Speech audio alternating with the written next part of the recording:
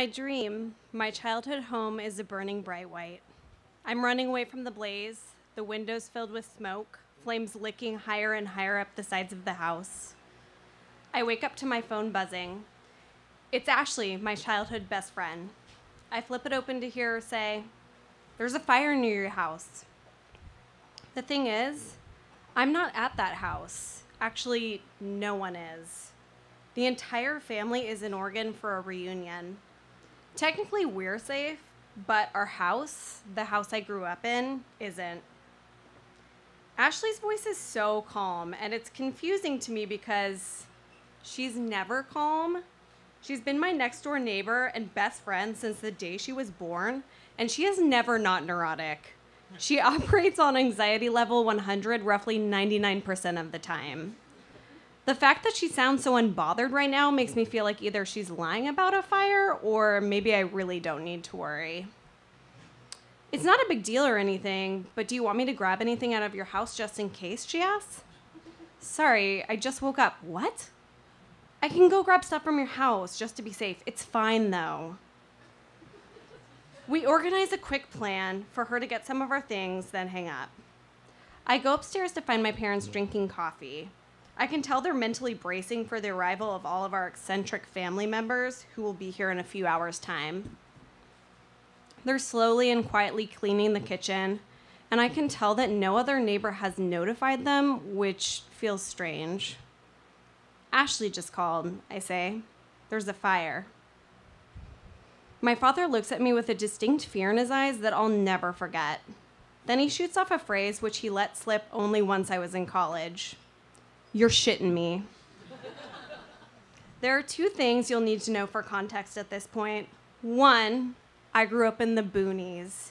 Boonies is in middle of the forest where you should never plan on getting cell phone reception. Boonies as in we all have our own generators because trees knock out power lines multiple times each winter. Boonies is in my brother decided to learn how to smoke meat and he actually kept the pelts to sew together and no one even reacted to this news around the dinner table. Perhaps you've heard of the town where I'm from, but odds are extremely high that you haven't. Bonny Doon. Even the name reeks of rural backwoods, as it should, because when I say town, I'm being generous. There are four standing establishments for residents to visit a school, a church, a firehouse, and a winery.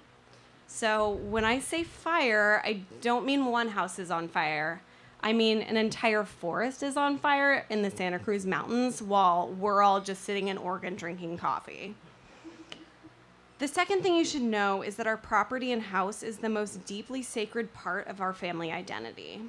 My parents built it themselves, which took two years and involved a lot of bribes of pizza and beer to convince friends to come and help. It was the house I was born in and the only home I've ever known. All of my neighbors have been the same since the day I was born. There's something really strange and special about growing up in the middle of nowhere, especially in the way it veritably forces you to cling to any source of entertainment. Growing up, my friends and I needed each other. We needed someone to find adventure with, since Forest was all we had. While all of our families raised us differently, all Bonny Doon parents did have one thing in common a totalitarian level of restriction on screen time.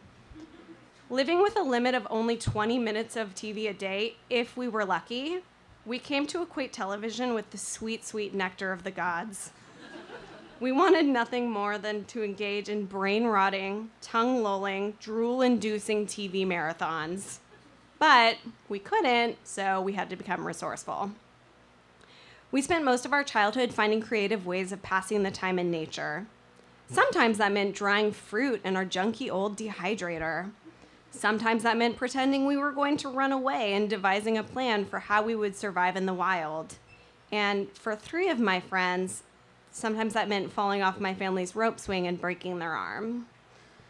We also spent a lot of time digging around for bones. Sometimes people ask me what I was like as a child, and the answer is pretty strange. In case you weren't aware, forest kids love decomposition. We were obsessed with it in a way that would now make adults at parties very uncomfortable. One year, we found the fibula of a deer in the woods that had been clearly gnawed off by some sort of predator, and my parents didn't blink an eye or put up any signs of protest when I simply bagged it up and brought that bad boy in for third grade show and tell. Growing up surrounded by redwoods and nothing else, these are the childhood antics we resorted to. Ashley was always a part of these weird adventures, so it felt strangely fitting that she was the one warning me that all those acres of woods were now in danger of being destroyed. With the murmuring of the words, there's a fire near the house, I flicked the first domino that quickly knocked down all the rest. Perhaps because I wasn't fully awake, perhaps because I hadn't touched a sip of coffee, perhaps because I was in some sort of shock. I was not prepared for the maelstrom of panic that ensued.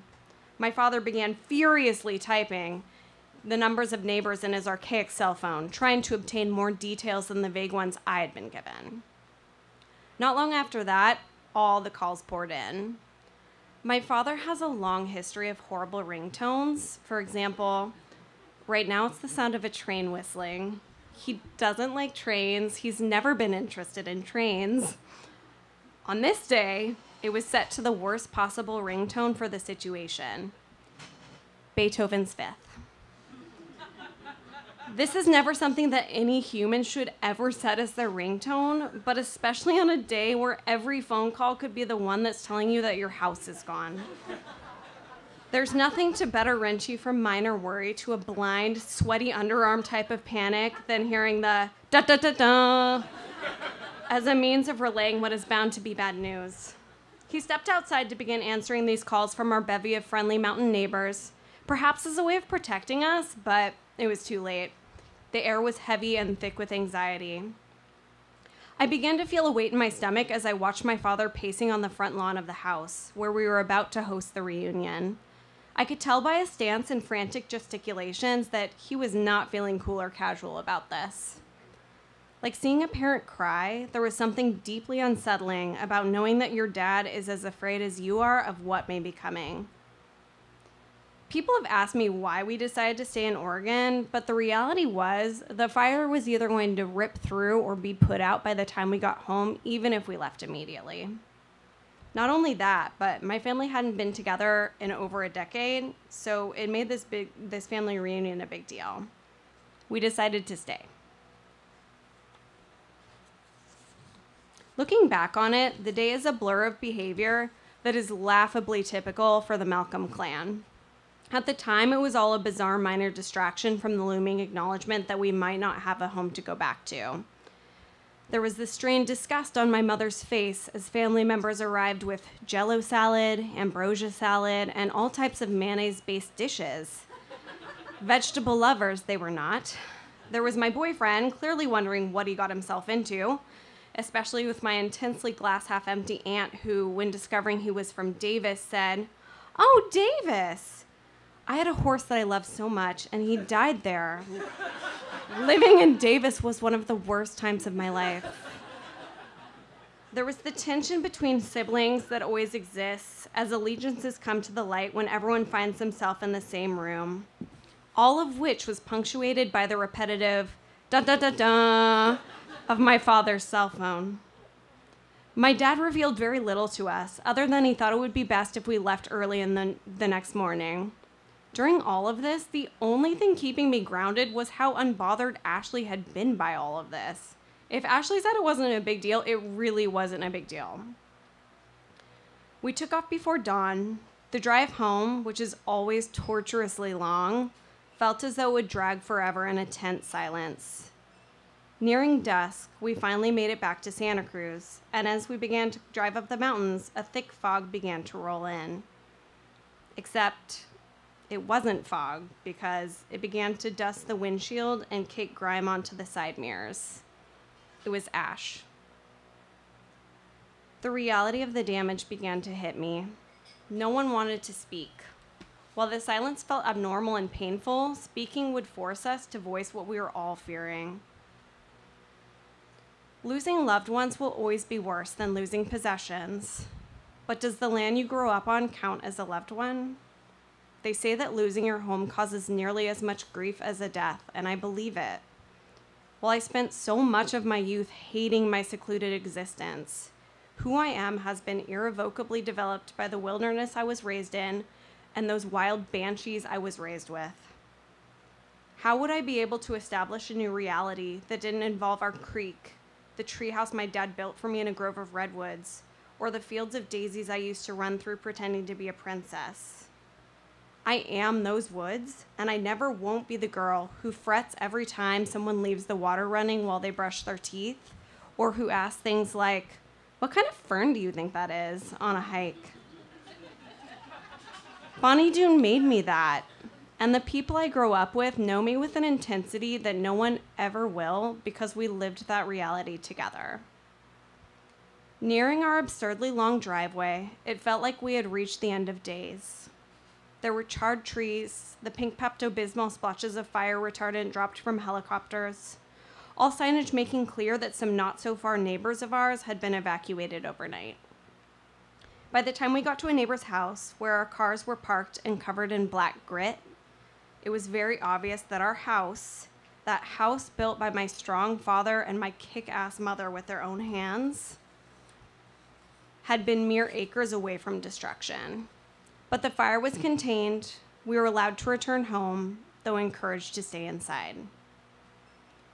48 hours ago, I had stumbled out of a dream that now felt eerily similar to the nightmare that lay at my feet. What the fuck was my initial reaction when I saw Ashley? The fire was at our back doorstep. Oh, I know, she replied, holding up her phone with an image that was clearly the blaze coming up on her backyard.